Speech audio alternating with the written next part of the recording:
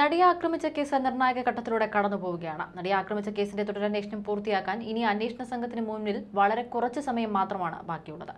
അതിജീവിതയ്ക്ക് നീതി ഉറപ്പാക്കാനുള്ള തെളിവുകൾ ഈ സമയത്തിനുള്ളിൽ അന്വേഷണ സംഘത്തിന് സമാഹരിക്കാൻ സാധിക്കുമോ എന്ന ചോദ്യം ബാക്കിയാണ്. ഈ കേസിൽ അതിജീവിതയ്ക്ക് നീതി ലഭിക്കുമോ എന്ന കാര്യത്തിൽ സംശയമുണ്ടെന്ന് പറയുകയാണ് റിട്ടയർഡ് എസ് ജോർജ് ജോസഫ്. പ്രമുഖ മാധ്യമത്തിനോട് പ്രതികരിക്കുകയായിരുന്നു അദ്ദേഹം. ജോർജ് ജോസഫിന്റെ വാക്കുകൾ ഇങ്ങനെ. കോടതിയിൽ നിന്ന് തീരുമാനം വരാൻ വൈകുന്നതുകൊണ്ട് കേസ് അന്വേഷണം നീണ്ടുപോവുകയാണ് കാരണം അടുത്ത മാസം പതിനഞ്ചാം തീയതിക്കകം അന്വേഷണം പൂർത്തിയാക്കണം എന്ന കോടതിയുടെ നിർദ്ദേശമുള്ളതാണ്. തീരുമാനങ്ങൾ കോടതി നീട്ടിക്കൊണ്ടു പോയാൽ അത് അന്വേഷണത്തെ ബാധിക്കും. അങ്ങനെയാണെങ്കിൽ വീണ്ടും ഒരു മൂന്ന് മാസം കൂടി അന്വേഷണത്തിന് സമയം ചോദിക്കേണ്ടതായി വരും. ഇപ്പോൾ തന്നെ ഈ കേസ് നീണ്ടുപോവുകയാണ്. കാരണം അന്വേഷണത്തിനകത്ത് കോടതി ഇടപെടുന്നു എന്നതാണ് തന്റെ വ്യക്തിപരമായ അഭിപ്രായം. കാരണം അത് പോലീസിന്റെ ജോലിയാണ്.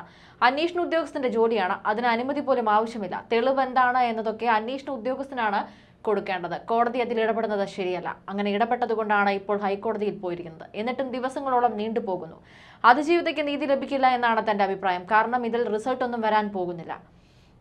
ഓരോ സമയത്തും ഹൈക്കോടതിക്ക് തീരുമാനമെടുക്കാൻ വേണ്ടി വരുന്ന സമയം കാരണം അന്വേഷണം നീണ്ടുപോവുകയാണ് അന്വേഷണം നടത്താനുള്ള സൗകര്യം വേണം. മാറിയ സാഹചര്യത്തിൽ വിചാരണ കോടതി മാറ്റാനുള്ള അപേക്ഷ ഹൈക്കോടതിയിൽ കൊടുക്കാത്തത് എന്താണ്?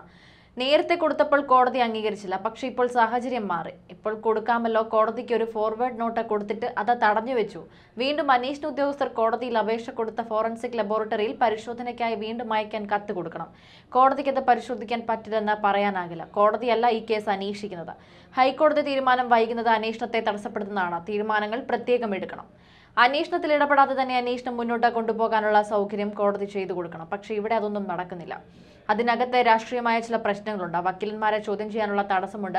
അങ്ങനെ അന്വേഷണത്തിന് വിഘാതം നിൽക്കുന്ന തെളിവുകൾ കണ്ടെടുക്കാൻ സാധിക്കാത്ത പരിസ്ഥിതിയിലേക്ക് കേസ് പോയിക്കൊണ്ടിരിക്കുന്നു. ഈ കേസിൽ അതുകൊണ്ട് തന്നെ അതിജീവിതയ്ക്ക് നീതി ലഭിക്കുമെന്ന് തോന്നുന്നില്ല. കോടതിക്ക് സംശയം ഇതിൽ പ്രതിക്ക് നോട്ടീസ് കൊടുക്കണോ എന്നതാണ്.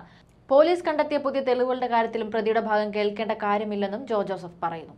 You are watching You are watching You're watching me on, and you're watching me on, on metromatney.com. on metromatney.com. metromatney.com. metromatney.com. Subscribe for more videos. Subscribe for more videos. Subscribe here for more videos. Subscribe now. Thank you. You are watching You are watching You're watching me and you're watching me on, On metromatney.com. on metromatney.com. metromatney.com. metromatney.com. Subscribe for more videos. Subscribe for more videos. Subscribe here for more videos. Subscribe now. Thank you.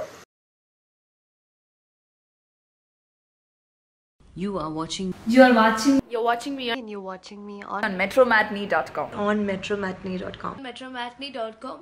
metromatney.com. Subscribe for more videos.